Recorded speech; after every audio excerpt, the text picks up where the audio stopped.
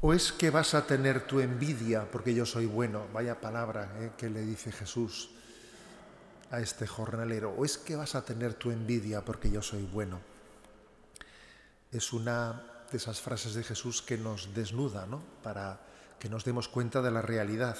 La misericordia de Dios y su gratuidad nos parece muy bien cuando la recibimos nosotros. ¿eh? Y sin embargo, igual cuando esa misericordia de Dios se dirige a nosotros, entonces la juzgamos. Esta contradicción saca a la luz dos deficiencias, dos males a corregir, ¿no? muy notorios, muy notables.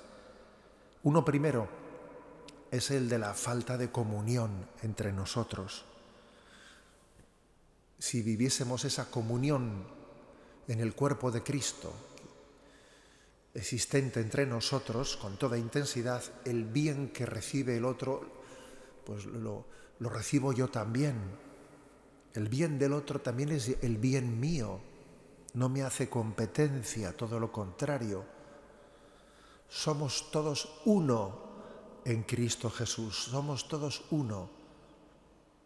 Y esas envidias que que anidan ahí escondiditas ¿eh? en nuestros corazones, pues delatan que no vivimos esa unidad del cuerpo místico. Somos todos uno en Cristo Jesús. Y el bien de los demás, la misericordia que Dios tiene con los demás, la tiene con nosotros.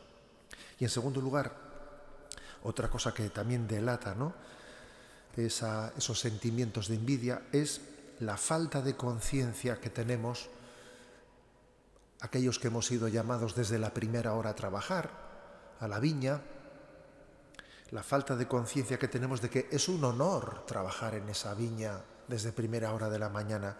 Y dice uno, pero, pero ¿cuánto trabajo? No, pero todo el día debajo del sol. A ver, es un honor poder hacer eso. Es un regalo poder servir al Señor, poder dar todo lo que tenemos, mis energías, mis fuerzas, al servicio de Dios nuestro Señor. Es un honor. Hay una expresión en la liturgia eucarística que ahora la, la leeremos que dice, te damos gracias Señor porque nos haces dignos de servirte en tu presencia, nos haces dignos. Es un honor poder servirte. Si, si tuviésemos conciencia, ¿no? De tal cosa jamás sentiríamos envidia. Es más, ojalá nos hubiese, si nos hubiesen llamado en vez de a primera hora de la mañana de madrugada, pero si servir al Señor es un honor, que el Señor grabe ¿no? en nuestro corazón esta, eh, esta viva conciencia para que arranquemos cualquier semilla, eh, cualquier mala raíz de envidia en nosotros.